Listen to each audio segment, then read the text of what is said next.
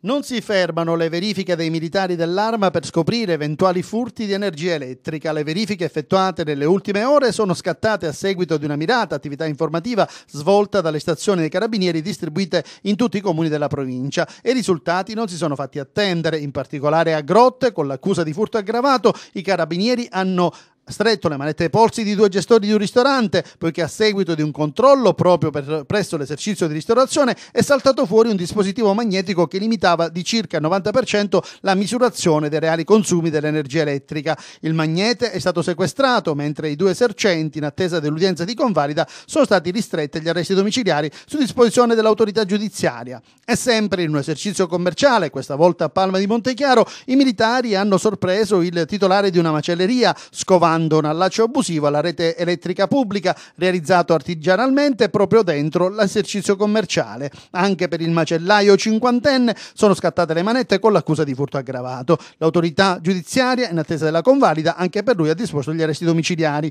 Nel corso dei primi sei mesi del 2018 sono stati complessivamente eseguiti una cinquantina di accessi ispettivi sia in abitazioni ma anche e soprattutto in esercizi commerciali al fine di verificare eventuali irregolarità o allacci abusivi svolti in gran gran parte con il contributo dei tecnici dell'Enel.